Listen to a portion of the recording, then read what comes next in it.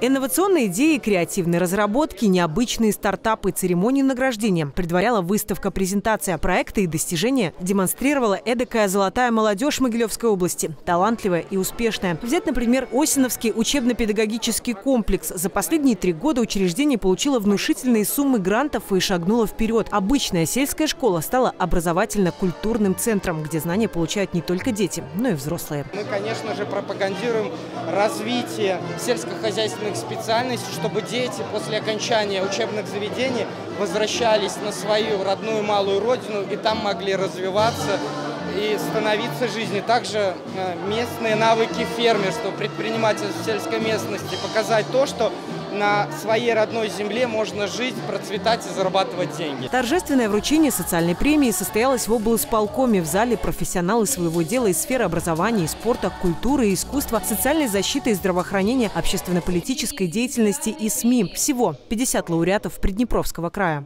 Искренне хорошо приветствую вас, дорогие ребята. Самую редкую часть, передовую часть молодежи Могилевской области.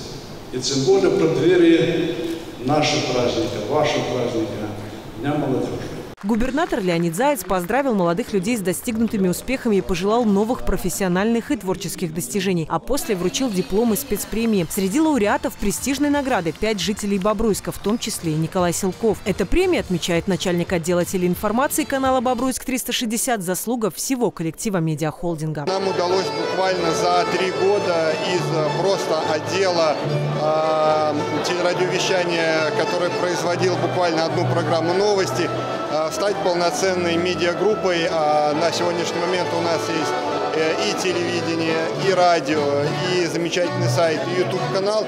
Э, и все это занимает довольно-таки большой сегмент э, в пространстве СМИ области.